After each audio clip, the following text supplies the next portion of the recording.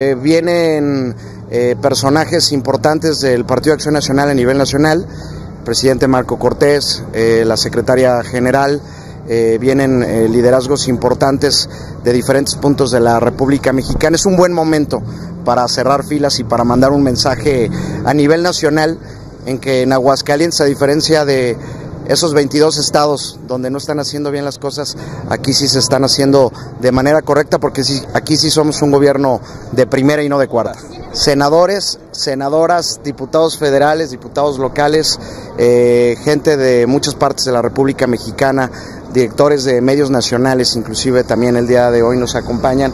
Pero lo más importante es que la sociedad estará presenciando este primer informe de actividades de la gobernadora. el informe dará inicio a las 8 de la noche, pero desde las 6 tenemos preparadas algunas sorpresas algunas actividades para toda la gente que nos han acompañado en estos primeros 12 meses. Eh, la plaza tiene un aforo de 15 mil personas.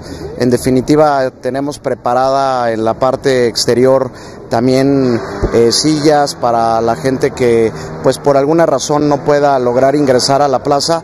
Pero bueno, tenemos en definitiva la presencia de gobernadores, de directores importantes de diferentes sectores de la sociedad. La verdad es que está todo listo para que sea una gran fiesta el día de hoy. Son cinco ejes, el, el informe está diseñado de tal manera en que sean los beneficiarios los que hablen, los que den las cuentas. Eh, ya este informe tradicional, acartonado, aburrido de cifras o de un solo video aburrido ya quedó en el pasado. Eh, hoy estarán por presenciar un informe diferente, único eh, y pues que tenemos preparado con mucho cariño para todos ustedes.